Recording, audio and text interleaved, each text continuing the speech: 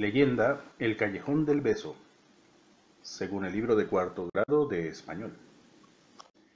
Se cuenta que doña Carmen era hija única de un hombre intransigente y violento, pero, como suele suceder, siempre triunfa el amor, por infortunado que éste sea. Doña Carmen era cortejada por un galán, don Luis, en un templo cercano al hogar de la doncella. Al ser descubierta, sobrevinieron el encierro, la amenaza de enviarla a un convento y, lo peor de todo, casarla en España con un viejo y rico noble, con lo que además acrecentaría el padre su mermada hacienda. La bella y sumisa criatura y su dama de compañía, doña Brígida, lloraron e imploraron juntas.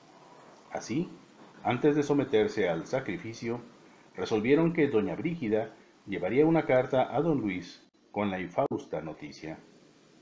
Mil conjeturas se hizo el joven enamorado, pero de ellas hubo una que le pareció más acertada. Una ventana de la casa de doña Carmen daba hacia un angosto callejón, tan estrecho que era posible, asomado a la ventana, tocar con la mano la pared de enfrente. Si lograba entrar a la casa frontera, podría hablar con su amada y, entre los dos, encontrar una solución al problema. Preguntó quién era el dueño de aquella casa y la adquirió a precio de oro. Hay que imaginar cuál fue la sorpresa de doña Carmen cuando, asomada a su balcón, se encontró a tan corta distancia con el hombre de sus sueños. Unos cuantos instantes habían transcurrido de aquel inenarrable coloquio amoroso, cuando más abstraídos se hallaban los dos amantes, del fondo de la pieza escucharon frases violentas. Era el padre de doña Carmen increpando a Brígida, quien se jugaba la misma vida por impedir que su amo entrara a la alcoba de su señora.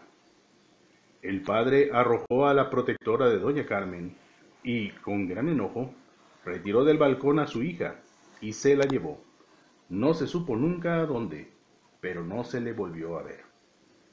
Don Luis enmudeció de dolor al sentir la mano de doña Carmen que se desvanecía entre las suyas. Ante lo inevitable, don Luis dejó un tierno beso sobre aquella mano tersa y cálida. Por esto, a este lugar, sin duda uno de los más típicos de nuestra ciudad, Guanajuato, se le llama el callejón del beso.